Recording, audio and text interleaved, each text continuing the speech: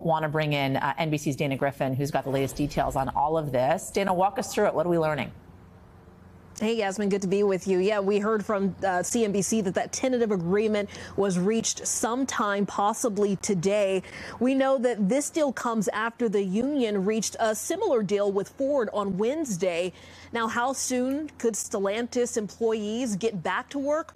That's the big question. We know from UAW leadership that they are planning to have informational meetings so that members can ask questions before they vote to ratify these two tentative agreements. And you've still got GM, the big holdout here for the big three, involved in this strike. And we are told by leaders that they plan to meet with GM today to hopefully end this six week long strike that has impacted some 140,000 UAW workers. So this agreement agreement that was reached today by Stellantis, we're told, mirrors the agreement that Ford made earlier this week and want to revisit that. So the Ford deal includes a 25% pay increase and it raises the top wages to $40 plus those starting wages to $28 an hour. It also reinstates cost of living adjustments and reduced an eight hour path to get to those top wages down to three.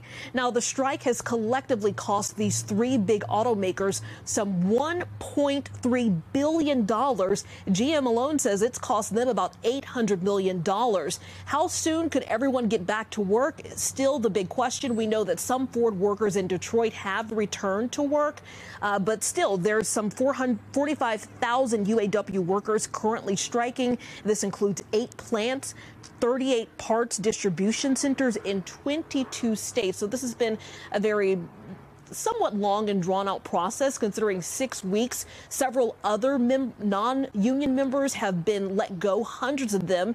So the, the hope is that they too will get their jobs back now that a lot of these agreements are coming to fruition. And we haven't seen what that deal looks like yet, Yasmin, but we know that those members are going to get a look at it pretty soon. And hopefully they'll be able to decide whether or not they want to take that deal. So, so Ford check, Stellantis halfway check, possibly um, on the way to getting um, done. GM kind of still this this outlier here. I, I know, as you quoted, still some of the leaders out. at GM, obviously, and the leaders at the unions as well. Are they hoping the momentum from Ford and possibly Stellantis will help propel um, forward uh, an agreement with GM in the coming days?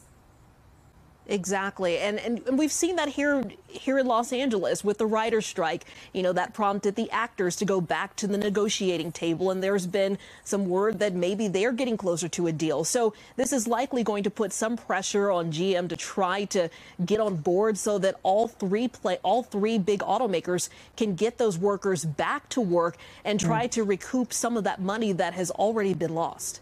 Dana Griffin for us. Thank you, Dana. Appreciate it.